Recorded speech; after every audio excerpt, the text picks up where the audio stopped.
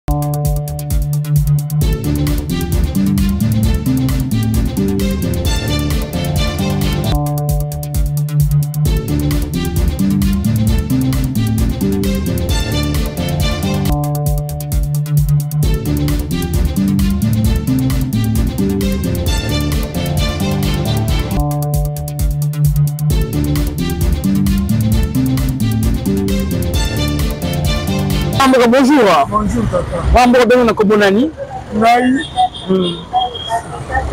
Nabengi na kombo ya Bukasa Tarsis. Car patala so kamera awa. Ah. Apali kamolani awa sur euh, modification ya constitution na biso mwana mboka yo moni yango ndenge mwana mboka ti badiaspora beyaki mingi mingi kosala mpe ezala modifie teke ye kongomani comment vous avez trouvé cette proposition ya modification ya constitution euh, mpo na ngai namoni ke eza malamu bachange yango na ndenge nini eza na intérêt ya bacongolais bapaya lokola basi balingaki biso mingi basalaki eloko na bango wana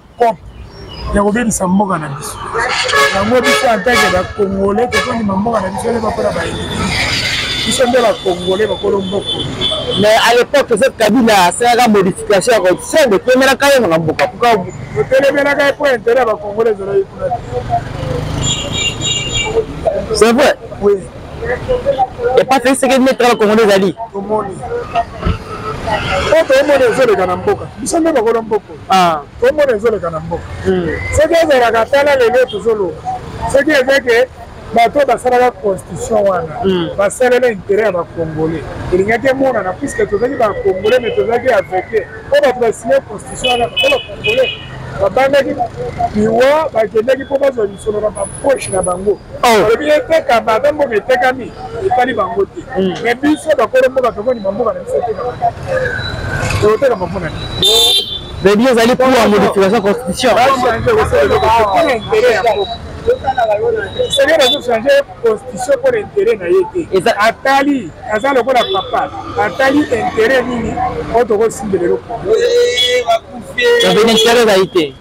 eza intere na ye te ye aza patriote mwana mboka eza neti papa na yo akufi atikeli bino lopango yo okonima lopango ya papa na yo bakata ndambu ndenge tozoyoka te na biloko moko ezake soki boza konfi na bato bakatela bango ndambo ya mabele ekende na ngambo na bango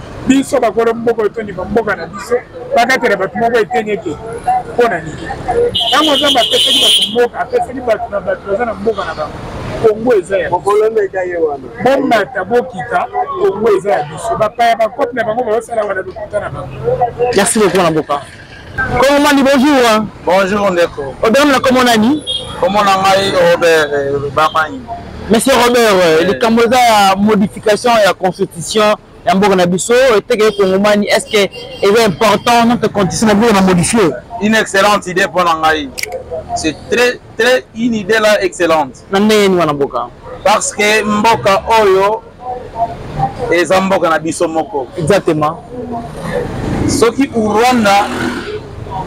atelemile biso mpo na bakor kaka basala biloko nyonso wana eza na constitution ok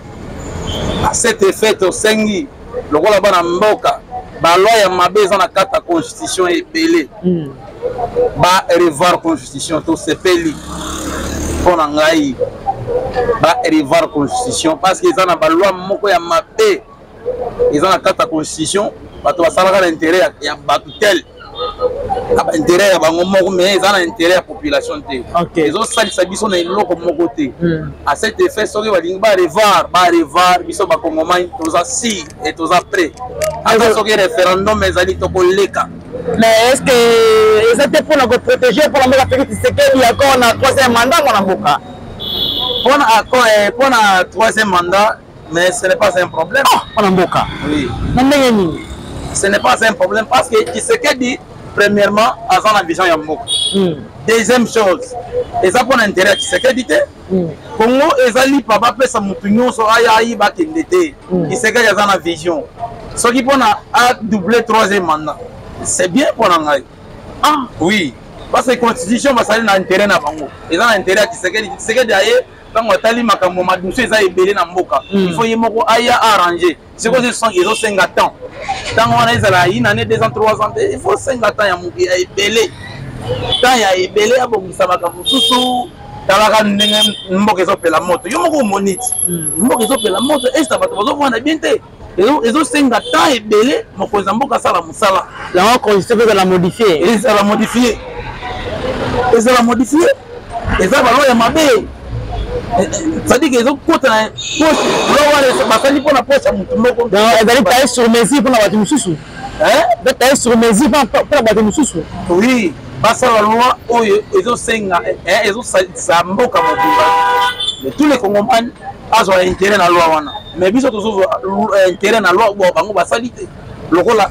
soki euh, soki boza na bitumba na bamboka euh, bapaya nani bavoisin na bino okatela bango ndambo ya mabele eza na kati ya constitution biloko wana yango tosengi na gouvernement congolais soki korevoir constitution barevoir c'est ça au moins l'importance mabele ekokende pa moto mosusu te soit babandela mokili pa rwanda akata mokili soki babandeli mokili sadike nzambe akatela rwanda mabele oyo ya ye mais oyo ya biso bakokata te merci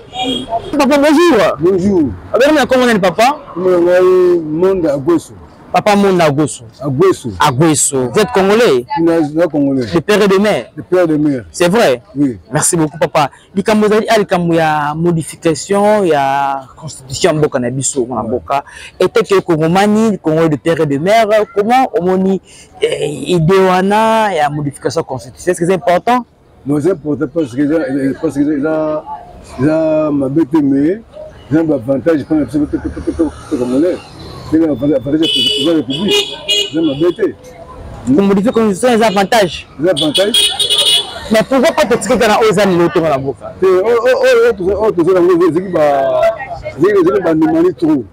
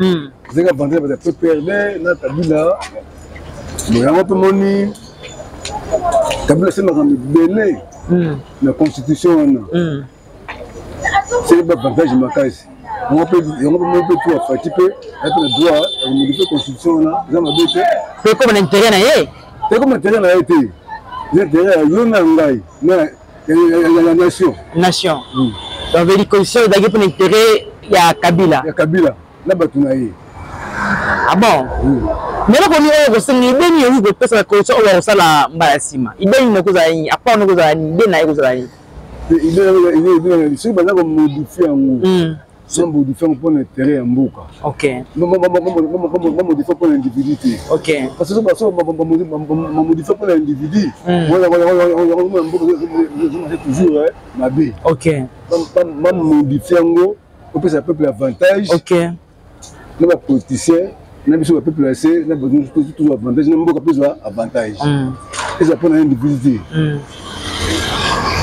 mpo na ngai eza ndenge wana moto ameye abénéficie na constitution moto abénéficie na yango ye moko te mm. bato tu babénéficie na yango ok merci papa Kambuka bonjour. Hein. Bonjour papa. Okomi na kombo nani? Euh, kombo na ngai euh, Sayala. Papa Sayala. Papa Sayala, oza kongomani? Oui, de père et mère. De père et mère? Oui. Ya solo wana vraiment. Ya solo vraiment. Ah, oya yemi Dakar te. Eh, biso pena bata mabele pena. Merci beaucoup bata mabele na mboka. Sur comme tali modification ya constitution mboka na biso. Peut-être que les Congolais, comment vous avez trouvé cette euh, euh idée à modification de notre constitution na biso wana mboka oui c'est très important mpona komodifie constitution eza na baarticle ebele ya komodifie eza te bakosima constitution mobima hmm. mais il y a des articles oyo oh, bakomodifie constitution parce que eza na baarticle mosusu soki euh, toza na problème na mboka mosusu mpona mesure ya kimia il faut kopesa bango ndama mabele wana tokondima yango te Eh, faut ko modifier yango articles ebele eza te ke condition mobimba donc eza très important baarticle oyo bazomona ke non eza très important il faut bamodifie yango mais balobi modification yango na mboka kabila eyaka sa amodifie yango à l'époque na 2018 apparemment botemelaki kabila mpo na euh, reforme ekoki komodifie constitution mona mboka mais oui kabila tomonaki mpena makanisi na ye bien te parce que kabila toyebaki keno aza étranger constitution oyo basalaki wana eza bango bazalaki parmi mpo ezalaki na bénéfice na bango ok bon jamais tokondima keno moto asalaki constitution mpo na bénéfice na ye amodifie yango susu alinga luka so atya su biloko ya mabe su koleka yango tomoni keno félix sekedi aza mwana mboka moto aza na vision ya mboka oyo oyo ko modifier constitution yango wana tozo ndima ke non ndenge ya koti boye il faut modifier constitution constitution na mboka mais est-ce que eh, eza pas pour projet soko akola mandat na ete na mboka eh, bato bakanisa te ke nani pardon bakanisa te ke komodifie constitution ezali kaka kotouche mandat ya, ya, ya chef de l'état bato bayimba eh, eyimba ekomoki pense bongo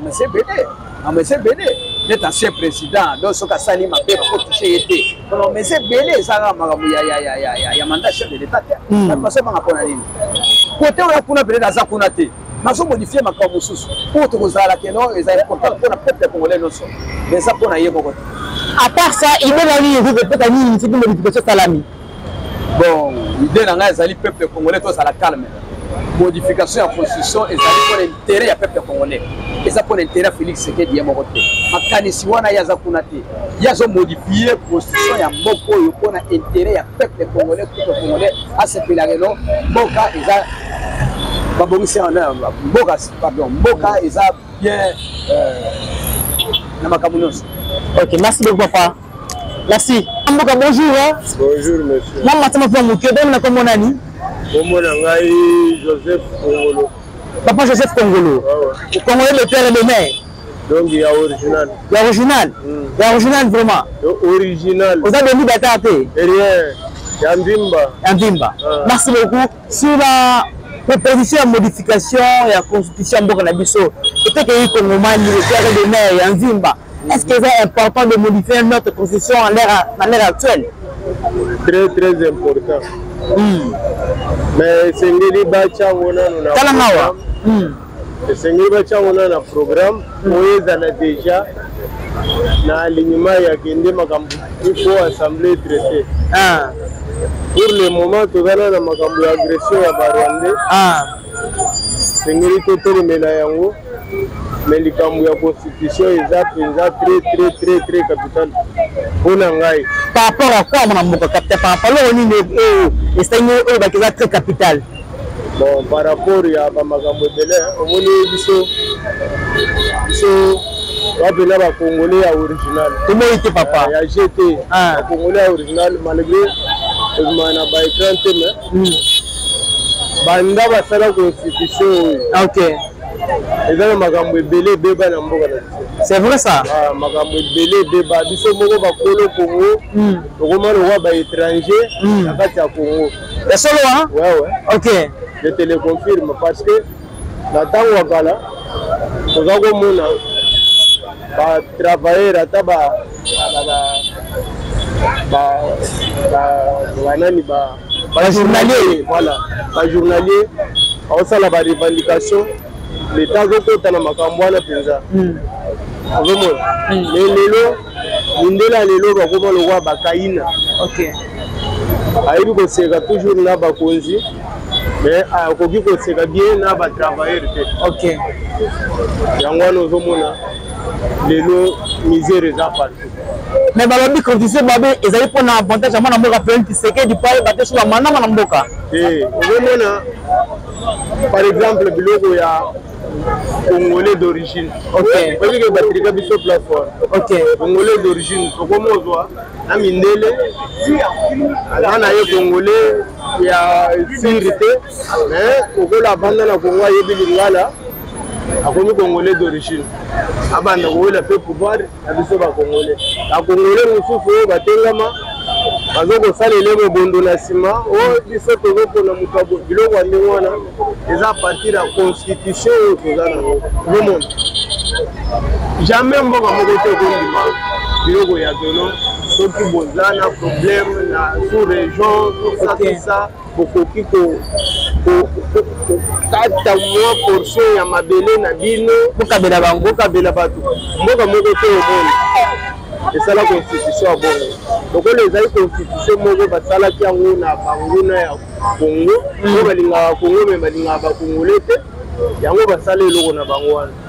c'est pour cela omonaka baizola papa etienne na makambo na bango asalisi te hmm. mais babimisaka verbe lokola bango balingaka koavanse ba makambo ya lokuta liboso oh, ye mpe si azalaki na nini wana si andimaka constitution wana donc oyo oh, nyonso ye aza koloba bazosala neti bazo zipango mpo e donc bakongole oyo baza sous informe bayeba te ke kisekedi alobaka makambo nyonso tozovivre lelo Papa Tshisekedi alobaka yango déjà. Alors ils seront bloqués quelque part. Omona? biso eza important ya kochange constitution ya mboka na biso yakotobe manda ekoma na 7 ans makambo ya manda biso bakongole toza ebele ozo comprendre bana nyonso biso tobota lelo totangisa baza mpe na bambiso ya kozala bapresident probleme eza ya kozala baebele ya bamanda te bambula ebele na manda te probleme eza ya kobongisa baloi oyo ezosala bino bakongole base retrouve tala lelo president ya mboka azokoka kolongola gouverneur neti gentini ngobila azokoka kolongola ye te waese wana eza bokonzi wana ya bokonzi te so tozali na mobutu lelo atye mongulu diaka lobi atali boye eh, yo olonga boye ozo comprendre le sentir que no président ye wana oyo oyo bango basala lokola président moko tozalaki naye ya borik ayebi na ye mpe makambo ya kokonza te eza nini ya borik ayebi na ye makambo ya kokonza te baprofesseur wana oyo bazingaki zingaki ye asalaki babiloko wana kaka nefasio rwanda azwa part na ye ye mpe anginda mpe na kote na ye bango mpe bazala libre na marke na bango yango lelo ozomona ata na bakashe oyo mpo balibere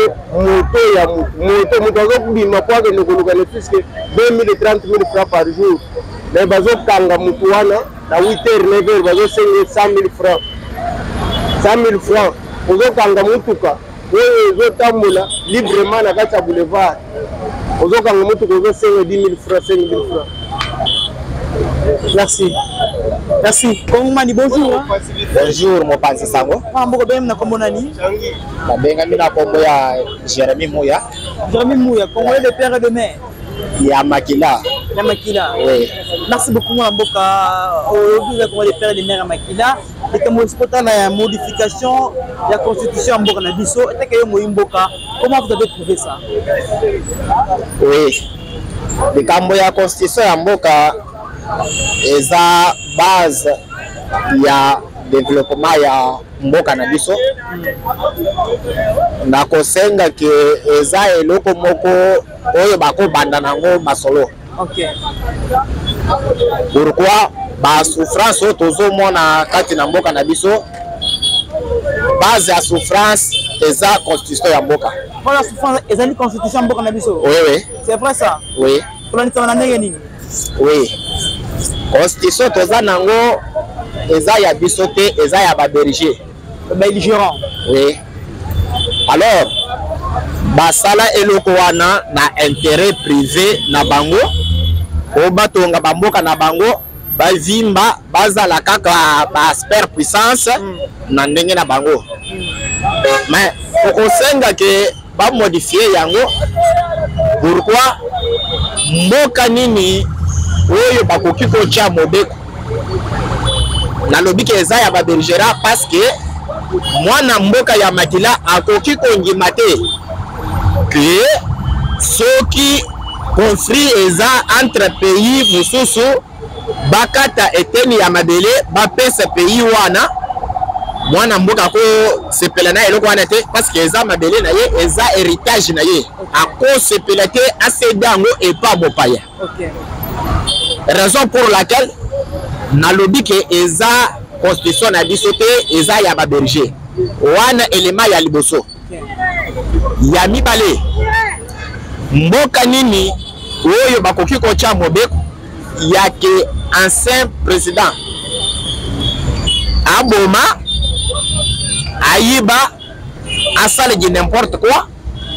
bakoki kosambisa ye te na mabe nyonso asalaki na ntango ya kibokonzi na ye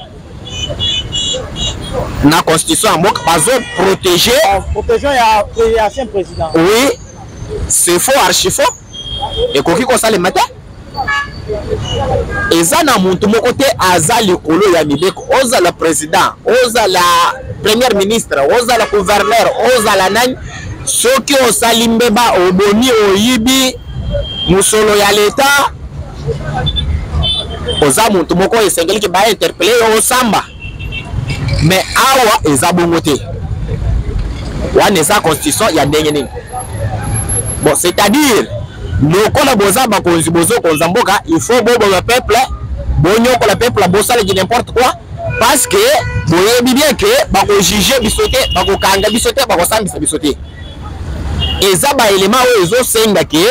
na lombangu basimba constitution wana bamodifie yango mpo na kolongola bosoto nyonso salite nyonso basali na kati ya constitution ya eh, mboka eza te mpo na kopesa felix tshisekedi piste ya nko ya kosala lisusu 3 mandat te mwana mboka oui tokoki kolia dongo dongo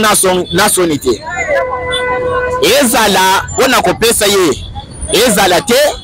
mais oyo nakoyebisa yo mopanzi sango eza nini lelo bapesa ye bapesa ye